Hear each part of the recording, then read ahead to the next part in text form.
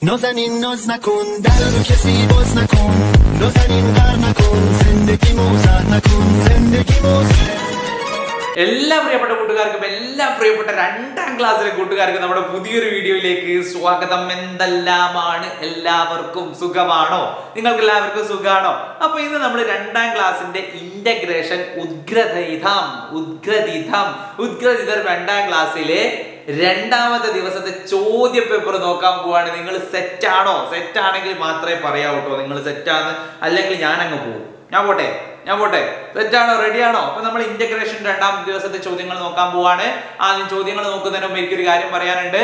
എന്താ കാര്യം എന്നറിയോ? എന്തെങ്കിലുമൊക്കെ ഭക്ഷണമൊക്കെ കഴിച്ചിട്ട് വേണം നമ്മൾ പഠിക്കാനിരിക്കുക നമ്മൾ ഭക്ഷണം കഴിച്ചിട്ട് നമ്മൾ പഠിക്കുന്ന കാര്യങ്ങളൊക്കെ മനസ്സിലേക്ക് കയറണം എന്നുണ്ടെങ്കിൽ നമ്മൾ നല്ല എനർജിയിൽ ഇങ്ങനെ ഇരിക്കണം. നമ്മൾ ആക്റ്റീവ് ആയിട്ട് ഇരിക്കണം. അപ്പൊ ഫുഡ് കഴിക്കണം. ഫുഡ് കഴിക്കുന്നുണ്ടോ? ഫുഡ് കഴിക്കുന്നുണ്ടോ? ഫുഡൊക്കെ കഴിച്ച് നല്ല എനർജി ആയിട്ട് ഇരിക്കണം. വെള്ളമൊക്കെ നന്നായിട്ട് കുടിക്കണം. കുടിക്കൂലേ? കുടിക്കൂലേ. എന്നാൽ മാത്രമേ നമ്മൾ ഇതിന്റെ ഉള്ളിലേക്ക് കയറും. അല്ലാണ്ട് മൂപ്പരിങ്ങനെ ആകെ ക്ഷീണിച്ച് ക്ഷീണിച്ച് ക്ഷീണിച്ച് ഇങ്ങനെ പോകും.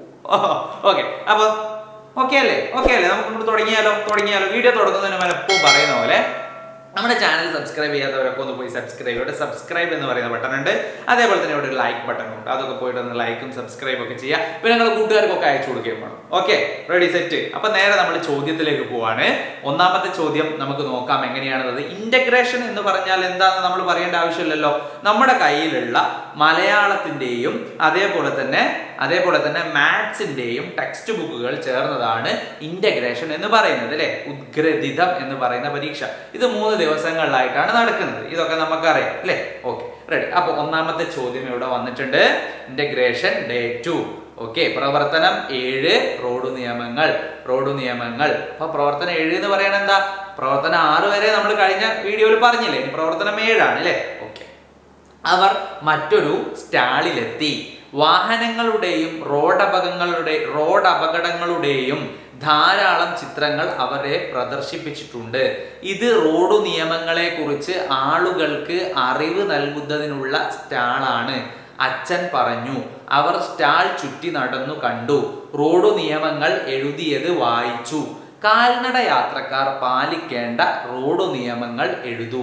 കാൽനട യാത്രക്കാർ പാലിക്കേണ്ട റോഡ് നിയമങ്ങൾ നമ്മൾക്ക് എന്തെണ്ണം? അഞ്ചെണ്ണം എഴുതണം. നമുക്കറിയാം അല്ലേ? സീബ്ര ലൈനിലൂടെ മാത്രമേ ക്രോസ് ചെയ്യാൻ പാടുള്ളൂ എന്ന് തുടങ്ങി നമുക്ക് നമ്മൾ പഠിച്ച ആ ഒരു കാര്യങ്ങൾ അഞ്ചെണ്ണം ഏതാണ്? റോഡ് നിയമങ്ങൾ. അല്ലേ? നമ്മൾ റോഡിലൂടെ പോകുമ്പോൾ വെറുതെ അങ്ങോട്ട് നമുക്ക് തോന്നുന്ന ഭാഗത്തൂടെ നടക്കാനൊന്നും പറ്റുകയൊന്നുമില്ല. തോന്നുന്ന ഭാഗത്തൂടെ ക്രോസ് ചെയ്യാൻ കഴിയുന്നില്ല പറ്റുമോ ഇല്ല. അപ്പൊ നമുക്ക് ഉള്ള അല്ലെ? കാൽനട യാത്രക്കാരായി നടന്നു പോകുന്ന ആളുകൾ പാലിക്കേണ്ട റോഡ് നിയമങ്ങൾ ഏതൊക്കെയാണ് എന്നുള്ളത് നമ്മൾ പഠിച്ചതാണ്. ആ റോഡ് നിയമങ്ങൾ നമ്മൾ നേരെ അങ്ങോട്ട് അതിലേക്ക് എഴുതി കൊടുക്കുക. അല്ലെ? സാർ ഒന്ന് പറഞ്ഞു തന്നു സീബ്ര ലൈന്റെ പറഞ്ഞു തന്നു. അതേപോലെ കുറെ എണ്ണം ഉണ്ട്. നമുക്കറിയാം റോഡിന്റെ ഏത് വശം ചേർന്നാ നടക്കേണ്ടത്? ഏത് വശം ചേർന്നാ? ആ അതൊക്കെ നിങ്ങൾ പഠിക്കേണ്ടതാ. Okay ready. അത് കഴിഞ്ഞ് വരികൾ കൂട്ടിച്ചേർക്കാം. പ്രവർത്തനം എട്ട്. പിന്നീടവർ എത്തിയത് അലങ്കാര പക്ഷികളെയും ഓമന മൃഗങ്ങളെയും പ്രദർശി പ്രദർശിപ്പിച്ചിരിക്കുന്ന സ്റ്റാളിലാണ് അവരെത്തിയത് അല്ലെ അവിടെയുള്ളയാൾ നല്ലൊരു പാട്ടുകാരൻ തന്നെ. അയാൾ ഓരോ ജീവിയെയും പരിചയപ്പെടുത്തുന്നത് അവയെക്കുറിച്ച് ഈണത്തിൽ പാടിയാണ്. ഇപ്പൊ പുതിയൊരു ട്രെൻഡാണ് അല്ലെ പാട്ട് പാടി സാധനങ്ങളൊക്കെ വിൽക്കുക. നമ്മൾ വീഡിയോയിലൊക്കെ കാണാറുണ്ട് മീനൊക്കെ പാട്ട് പാടി വിൽക്കും ഫോണൊക്കെ പാട്ട് പാടി വിൽക്കും അതേപോലെ മറ്റുള്ള സാധനങ്ങളൊക്കെ. ആ കച്ചാ ബദാം എന്നൊക്കെ ഉള്ള ഒരു പാട്ടില്ലായിരുന്നോ? നമ്മൾ ഇപ്പൊ ട്രെൻഡിങ് ആയ അതൊക്കെ എന്താണ്? പാട്ട് പാടി എന്ത് ചെയ്യാണ്? വിൽക്കുകയാണ് ചെയ്യുന്നത് അല്ലെ അപ്പൊ അതേപോലെയുള്ള ഒരു പാട്ടാണ് ഇവിടെ കൊടുത്തിരിക്കുന്നത് വരികൾ കൂട്ടിച്ചേർത്ത് എഴുതൂ. പമ്മി നടക്കും പൂച്ചമ്മ ഇത്. പാൽ കുടിക്കും പൂച്ചമ്മ. എലിയെ കണ്ടാൽ ഓടിക്കും. മ്യാവൂ മ്യാവൂ പൂച്ചമ്മ. അടുത്തത് നോക്കൂ. കുതിച്ചു ചാടും നായ്ക്കുട്ടൻ ഇത്. പിന്നെന്താ? പിന്നെന്താ? ആ. ഇറച്ചി കഴിക്കും നായ്ക്കുട്ടൻ. കള്ളന്മാരെ കണ്ടാൽ ഓടിക്കും.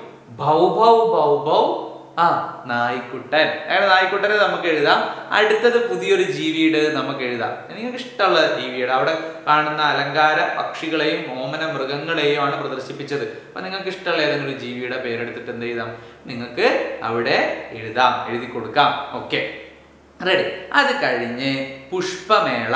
ഓക്കെ. അവിടെ നോക്കൂ പ്രവർത്തനം ഒൻപത് കണ്ടോ നിങ്ങൾ? പുഷ്പമേള.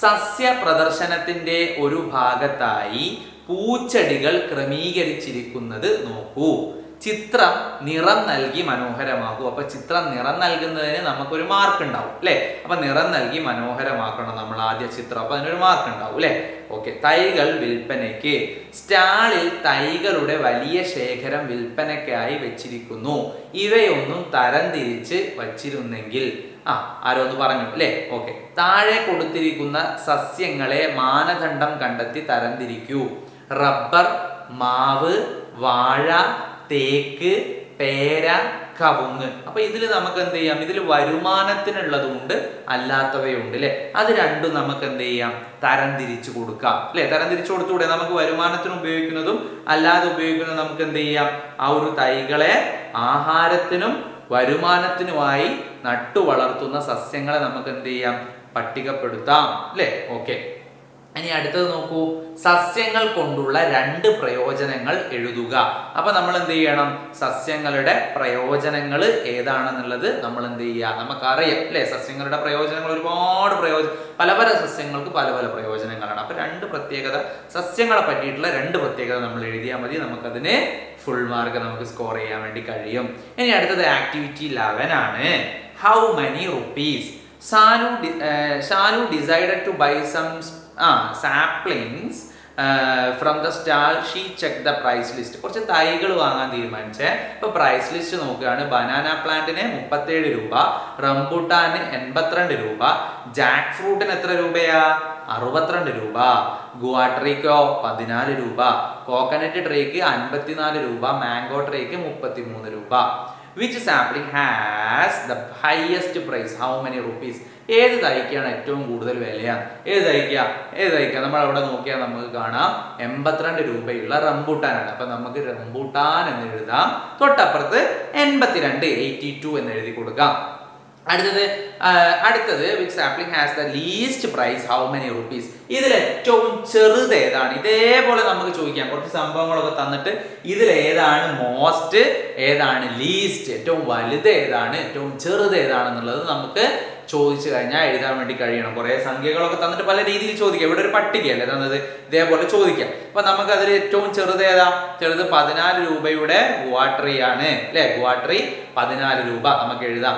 Look at the notes which Shalu has with her okay how many rupees are there അപ്പൊ അത് എത്ര രൂപ ഉണ്ട് എന്നാണ്. ഹൺഡ്രഡിന്റെയും ട്വന്റിയുടെയും നോട്ടാണ്. അപ്പൊ ഹൺഡ്രഡ് പ്ലസ് ട്വന്റി നൂറ് പ്ലസ് ഇരുപത് നൂറ് കൂട്ടണം ഇരുപത് നൂറ്റി ഇരുപത് അല്ലേ അപ്പൊ hundred plus twenty one twenty അല്ലെ ഹൺഡ്രഡ് ആൻഡ് ട്വന്റി അതാണ് അല്ലെ ഹൺഡ്രഡ് ആൻഡ് ട്വന്റി ആണ് നൂറ്റി ഇരുപത് രൂപയാണ് ഉള്ളത് Shalu wanted to buy rambutan and mango tree price of rambutan. റംബുട്ടാന്റെ price എത്രയാ? എൺപത്തിരണ്ട്.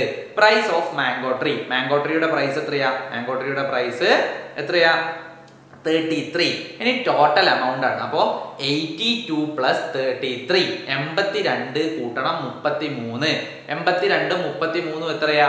നൂറ്റി നൂറ്റി പതിനഞ്ച് one one five one hundred and fifteen അല്ലേ പിന്നെ ചോദിക്കുന്നത് how many rupees are left with Shalu after buying the saplings അപ്പോൾ ഈ ഒരു സാധനങ്ങൾ വാങ്ങിയതിന് ശേഷം തൈകൾ വാങ്ങിയതിന് ശേഷം ശാലുവിന്റെ കയ്യിൽ എത്ര രൂപ ഉണ്ടാവും അപ്പം അങ്ങനെയാണെങ്കിൽ നമ്മൾ എന്താണ് നമ്മൾ ആദ്യം ശാലുവിന്റെ കയ്യിൽ എത്ര രൂപ ഉണ്ട് എന്ന് നമുക്കറിയണം. വേണ്ടേ? എത്ര രൂപയാണ് ശാലുവിന്റെ കയ്യിലുള്ളത് ആദ്യം നമ്മൾ കണ്ടത്?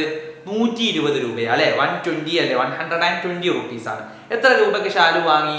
നൂറ്റി പതിനഞ്ച് രൂപക്ക് വാങ്ങി അല്ലേ വൺ ഹൺഡ്രഡ് ആൻഡ് ഫിഫ്റ്റീന് വാങ്ങി അല്ലേ അപ്പോൾ നൂറ്റി ഇരുപത് മൈനസ് നൂറ്റി പതിനഞ്ച് okay one twenty minus one one five that is equal to five എത്ര ബാലൻസ് ഉള്ളത് അഞ്ച് രൂപ. ഫൈവ് റുപ്പീസ് ആണ് ഷാലുവിന്റെ കയ്യിൽ എന്തുള്ളത്? ബാലൻസ് ഉള്ളത്. വളരെ സിമ്പിൾ ആയിട്ടുള്ള ക്വസ്റ്റ്യൻസ് ആണ്. ഇതേപോലെ സിമ്പിൾ ആയിട്ടുള്ള ക്വസ്റ്റ്യൻസ് ആയിരിക്കും നമുക്ക് വരുന്നത്. നിങ്ങൾ ആരും പേടിക്കേണ്ട.